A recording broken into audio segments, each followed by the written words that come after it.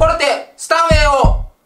買う僕フォルテおはようございます。フォルテです。初品、本日は、新しいスタジオができましたので、紹介します。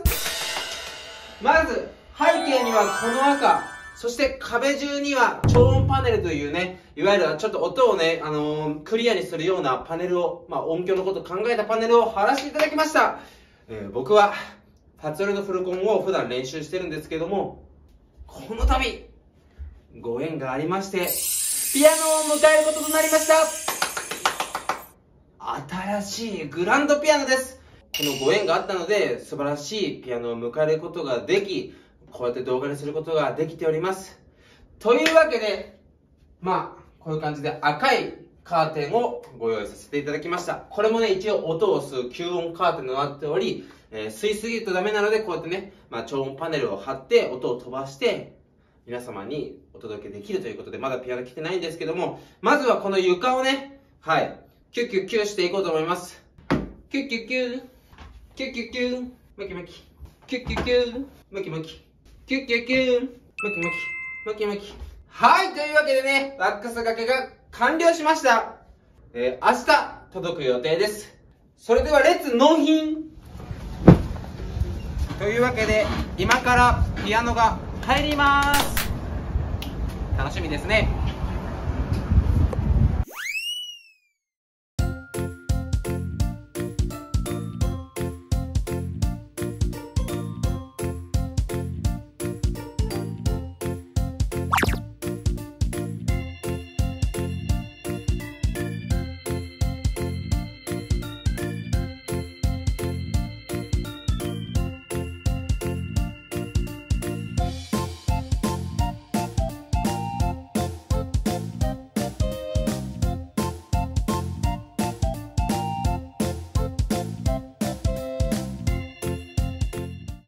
オッケーかな？こ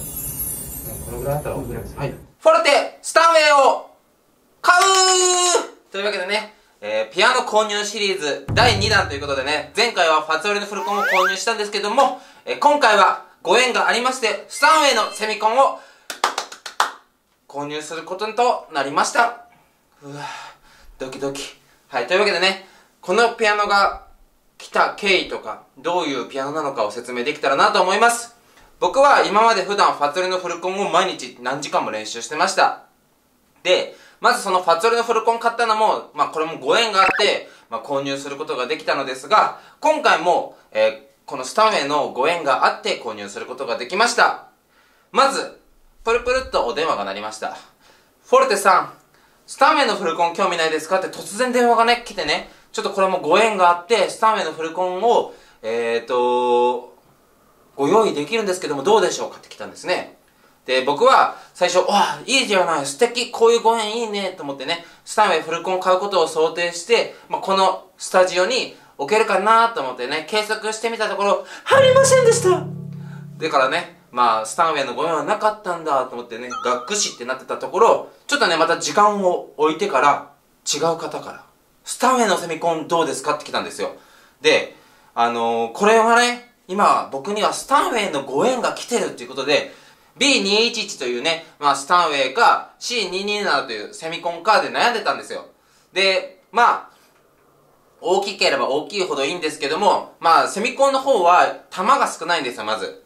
一番スター名で弾が多いのは、えっと、B211、そしてフルコンってなってくるんですけども、まあ僕が買うとしたら、その B211 か C227 がいいなと思ってたんですよ。で、まあそのタイミングでこのセミコンがありますよっていうお話が来て、ああ、で、どういうピアノですかって言ったら、もうあのーものすごく状態も良く、そしてもうずっと湿度温度管理されてる素晴らしい楽器だということもあってちょっと弾いてみたら、まあ、めちゃくちゃ良かったので購入しました。本当にねこういうご縁には感謝です。で、まあまだ届きたてでちょっとね、まだ部屋に音が馴染んでないので不安定ですけども、まあ1ヶ月ぐらいすると、え調律をしてもらって、そこでバチッと音がはまっていくと思うので、まあ最初の方は音が狂ってるけども、ご了承ください。今この時にね、ある程度弾いて狂ってもらって直すと、まあ振れ幅が少なくなるので、この1ヶ月このピアノを弾いて、で、それで音を整えていきたいなと思っております。やっぱ夏でめちゃくちゃ暑いのでコンテナとかで運ぶと、もう暑すぎてあちちちちってなるので、えー、今回は東京からこのピアノを冷房付きのトラックで運んできてもらいました。まあ、状態がいいピアノですからね。やっそのぐらいしないといけないっていうことで、ご縁に感謝。でね、まあこんなピアノは結局のところ、まあ僕のためっていうわけではなく、えー、僕からのたっくん、そしてフォルテマザーへのプレゼントということで、えー、頑張ってね、ピアノ楽しんでもらえたらなと思います。フォルテマザーも僕がピアノ始めるときに僕のためにピアノを買って、まあピアノ始めたんですけど、あとやっぱりね、親になってみて分かったのが、やっぱり、あの、してあげたいなと思うんですね、やっぱり。あの僕がピアノ好きっていうのもあるからこそ、あの何ピアノの仕事するかしないかは全く置いといてでも、まあ少しでもその、できることをやってあげたいなって思うようになったんですね。まあ、フォルテ君もパパになったんですよ。というわけでね、まあこのピアノの音を聞いていきましょう。おめでとうございます、フォルテ君。では、早速弾いていきましょう。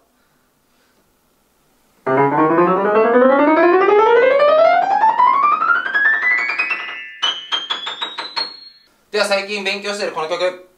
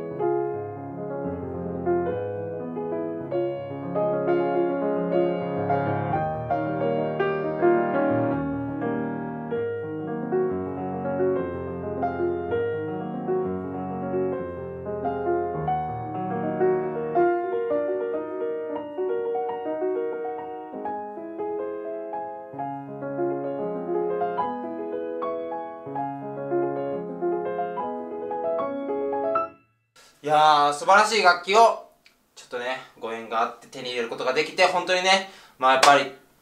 良かったなぁなんて思っております。で、やっぱりね、あの、楽器っていうのは、その、まあ、どんな楽器でももちろんいいんですけども、やっぱその、せっかくだったら、自分のモチベーションが上がる楽器が、やっぱね、すごい大切だなと思っておりまして、僕自身。なぜかというと、僕はね、あの、ファツァリのフルコンが、